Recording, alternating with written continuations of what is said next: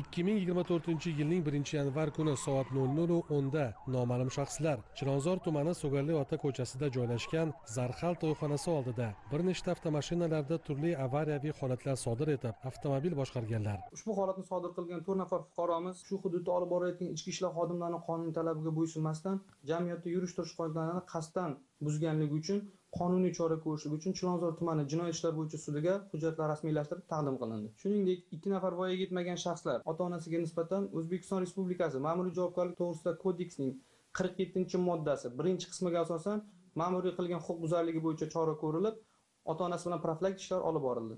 E'tiborli tomoni shu kuni o'zlari va atrofdagilar hayotini xavf ostiga qo'yib mashina boshqargan. O'zboshimchalik qilgan qoidabuzarlarning birortasida ham haydovchilik guvohnomasi bo'lmagan. Jinoyat ishlari bo'yicha chilonzor tuman sudi tomonidan fuqaro zokirov ollaqulov temirov hanafayev va boshqa qoidabuzarlarga nisbatan sud hukmi e'lon qilindi.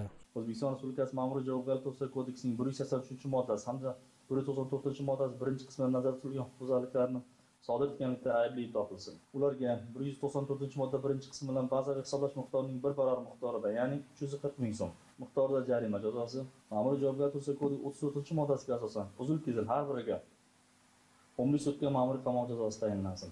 O'z navbatida toshkent shahar ichki ishlar bosh boshqarmasi yo'l harakati xavfsizligi boshqarmasi ogohlantiradi.